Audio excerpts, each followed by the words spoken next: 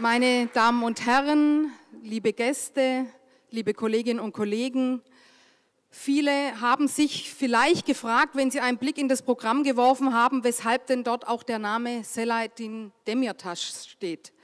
Wir wissen alle, er sitzt im Gefängnis in der Türkei, aber für uns war es selbstverständlich, dass wir ihn hierher zu dieser Veranstaltung einladen, dass die verfolgte Opposition der HDP einen Platz hier in dieser Veranstaltung hat. Wir haben deshalb symbolisch einen leeren Stuhl hier für ihn reserviert, für Selatin Demirtas. Und wir hoffen, dass er so schnell wie möglich hier auch auf so einem Stuhl im Deutschen Bundestag Platz nehmen kann und seine Grundrechte der Opposition wahrnehmen kann.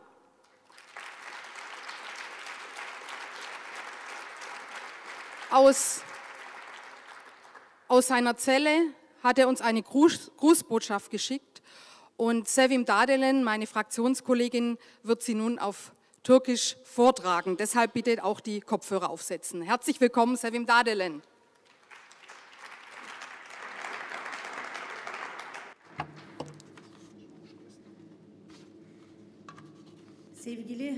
Liebe Genossen, ich fühle mich geehrt, zu der Konferenz der Partei Die Linke im Bundestag als Redner eingeladen worden zu sein.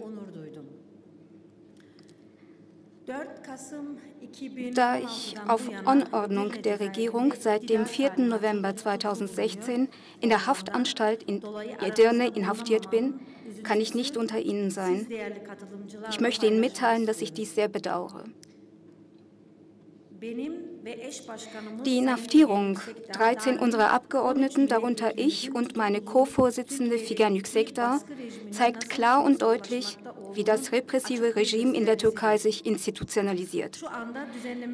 Ich nehme an, dass in der heutigen Konferenz noch auf die Situation der HDP-Abgeordneten eingegangen wird, die aus der politischen Basisarbeit entfernt werden. Daher halte ich es für sinnvoller, statt auf unsere persönliche Situation einzugehen, eine etwas allgemeinere Bewertung der Umstände vorzunehmen. Zuallererst möchte ich Folgendes anmerken. Die HDP hat seit ihrer Gründung immer die Bedeutung des Pluralismus in den Vordergrund gestellt, damit unterschiedliche Meinungen im Parlament und im öffentlichen Bereich auf einer demokratischen Grundlage ausgetauscht werden. Wir haben uns dafür auch eingesetzt, dass auch die Dynamiken in den Beziehungen mit Europa und im Mittleren Osten in diesem Rahmen verlaufen. Wir haben intensiv darauf hingearbeitet, damit die Verfassung aus der Putschzeit durch eine demokratische Verfassung abgelöst wird. Andererseits haben wir versucht, alles in unserer Macht Stehende zu tun und tun dies allen widrigen Umständen zum Trotz weiterhin, um die Kurdenfrage, die die grundlegendste Frage in der Türkei bezüglich der Freiheiten darstellt, friedlich zu lösen. Nun wurde im Bestreben der Regierungspartei und des Staatspräsidenten Erdogan, die Interessen der Partei über die Interessen des Landes zu stellen, eine neue Putschverfassung zur Volksabstimmung präsentiert. So wie im Anschluss an die Parlamentswahlen vom 7. Juni sehen wir uns auch im Zuge des anstehenden Referendums einer Regierungspolitik gegenüber, die die Spannung weiter anheizt und die Menschen polarisiert. Der Putschversuch vom 15. Juli wurde seitens des Staatspräsidenten Erdogan als ein Geschenk Gottes begriffen. Das Ziel, die Einflusssphäre auf den gesamten gesellschaftlichen und politischen Aus Bereich auszuweiten um die eigene Macht für immer zu festigen, mutierte zur vorrangigen Aufgabe auf der Agenda. Die Vorsitzenden der HDP und der DBP, die nichts mit dem Putschversuch zu tun hatten und diesen noch in der Putschnacht verurteilten, wurden zur Zielscheibe des Gegenputsches, der von der AKP eingeleitet wurde. Damit eingehend wurden neutrale und oppositionelle Medien aus dem Weg geräumt. Bis auf ein, zwei Tageszeitungen gibt es keine kritisch berichtenden Zeitungen mehr. Die Judikative geriet vollständig unter die Kontrolle der Macht. Mehr als 5000 Lehrende wurden aus den Hochschulen verbannt.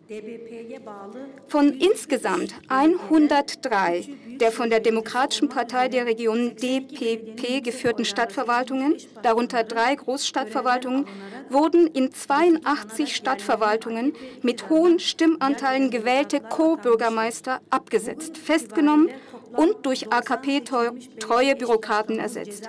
Gegenwärtig sitzen insgesamt 90 gewählte Co-Bürgermeister im Gefängnis. Was wir erleben, ist nichts anderes als systematischer Staatsterrorismus. Milder lässt es sich nicht formulieren. Ich möchte, dass unsere Menschen in Deutschland eines wissen. Die Brücke zwischen Deutschland und der Türkei ist nicht so fragil, als dass sie durch die Wut oder Hochmut einer einzigen Person zerstört werden könnte. Ich glaube nicht daran, dass unsere Menschen sich je nach dem Interesse oder Seelenzustand einer einzigen Person gegeneinander aufbringen lassen. Denn wir glauben fest daran, dass Ideologien immer hinter den gesellschaftlichen Entwicklungen zurückbleiben werden und dem Niedergang geweiht sind. Wir hegen keine Zweifel daran, dass die Zeiten nahen, in denen die verehrten Bundestagsabgeordneten und unsere in Deutschland lebenden Menschen eine demokratischere und freiere Türkei kennenlernen werden. Hoffen wir, dass die Brücken, die eine demokratische und freie Türkei schon sehr bald mit Deutschland verbinden, auch mit unserer Unterstützung gestärkt werden. Ich hoffe, dass unser Sieg über den Faschismus und den Staatsterror in der Türkei, in den Nachbarstaaten, insbesondere in Syrien und in ganz Europa, eine Quelle der Inspiration sein wird. Unseren Genossen von der Partei Die Linke, die ihre Solidarität mit den fortschrittlichen Kräften in der Türkei und mit der HDP stets mit Entschlossenheit bezeugt hat, und meinen verehrten Freunden, den Fraktionsvorsitzenden der Partei Die Linke, Sarah Wagenknecht und Dietmar Bartsch, übermittle ich herzliche Grüße aus Edirne. In der Hoffnung auf ein baldiges Wiedersehen in Freiheit grüße ich alle an der Konferenz teilnehmenden verehrten Freunde. Selahattin Demirtas, Co-Vorsitzender der HDP aus der Haftanstalt Edirne.